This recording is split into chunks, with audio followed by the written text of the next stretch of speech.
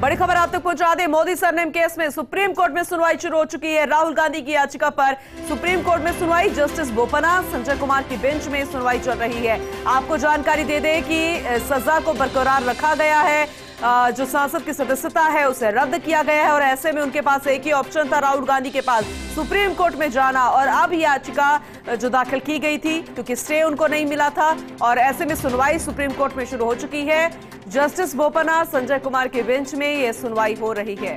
देखना होगा, इस सुनवाई के बाद क्या फैसला सुरक्षित रख लिया जाता है, किस दिन के लिए फैसले की बात आएगी या फिर क्या फैसला रह सकता है, क्योंकि टेंशन कांग्रेस सरकार के लिए बढ़ती जा रही है, राहुल गांधी के लिए बढ़ती जा रहा है, क्योंकि आने वाले समय में लोकसभा चुनाव है और अगर इनकी सदस्यता रद्द हो जाएगी तो फिर ये चुनाव वो नहीं लड़ पाएँगे। सूरत कोर्ट ने राहुल के खिलाफ फैसला सुनाया था। ये जानकारी आप तक पहुँचा रहे हैं, क्योंकि मामला क्या था? ये दो साल की सजा सुना दी गई थी। सजा के चलते सांसदी भी चली गई थी, क्योंकि सदस्यता रद्द हो गई थी और ऐसे में वो लोकसभा का चुनाव इस बार नहीं लड़ सकते थे। केरल के वायनाड से सांसद थे राहुल गांधी, लेकिन अब सांसद नहीं है क्योंकि सदस्यता रद्द हो चुकी है। गुजरात हाईकोर्ट ने पुनर्विचार याचिका भी खारिज कर दी थी, यानी कि सजा को बरकरार रखा था।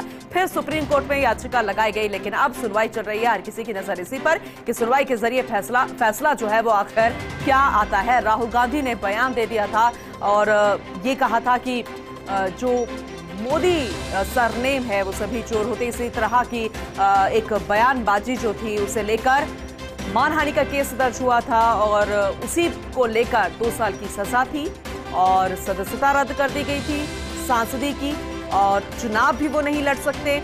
लगातार कोशिश यही जारी कांग्रेस की तरफ़ से, राहुल गांधी की तरफ़ से कि उनकी सदस्यता जो है वो वापस मिल जाए स्टे लग जाए, लेकिन उनके पास सिर्फ़ एक ऑप्शन बचा क्योंकि बार बार उनकी याचिका को खारिज कर दिया गया। सूरत कोर्ट ने राहुल के खिलाफ फैसला सुनाया था, फिर गुजरात हाईकोर्ट द्वारा यथावत रख लिया गया फैसला और अब सुप्रीम कोर्ट में सुनवाई। सुप्रीम कोर्ट में सुप्रीम फैसला क्या आएगा क्योंकि वही सुप्रीम रहेगा और वही निर्धारित रहेगा, उस पर हर किसी की नज़र टिकी हुई है।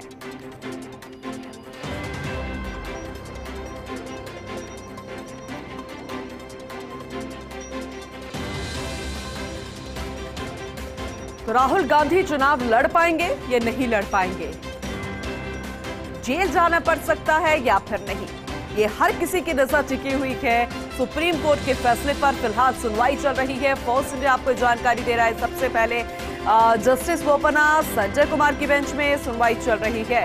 क्या फैसला होगा? मोदी सर ने को लेकर बयान दिया था, उसके बाद केस फ़ाइल किया गया था। उसमें कहा था इन्होंने, राहुल गांधी ने कि सभी चोरों का सरनेम आखिर मोदी क्यों होता है?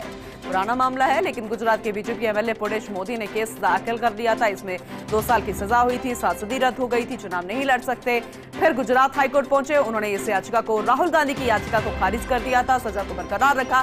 फिर एक ही ऑप्शन बचता था, सुप्रीम कोर्ट जाने का। अब सुनवाई चल रही है, सुप्रीम फैसला क्या आएगा, वो भी देखना दिलचस्प होगा। हर किसी की नज़र इसे पर टिकी हुई है।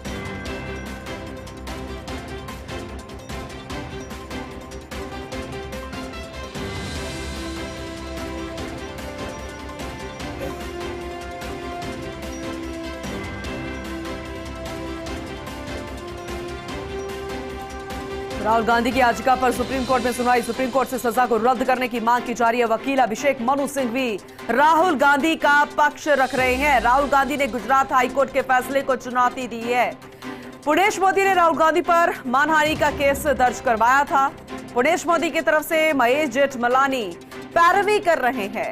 दोनों ही वकील जो है दोनों की तरफ़ से वो आ, बेहद ही महत्वपूर्ण